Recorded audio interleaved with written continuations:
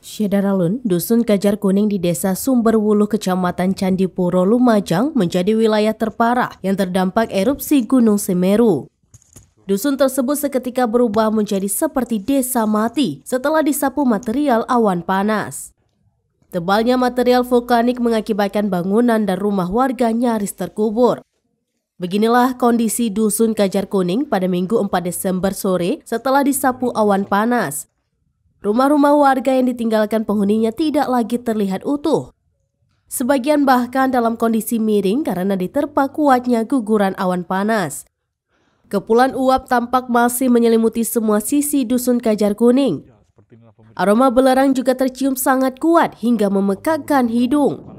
Hawa panas dari material erupsi masih terasa meski hujan sempat mengguyur wilayah tersebut. Kondisi mengerikan ini seolah membuat dusun Kajar Kuning tampak seperti desa mati.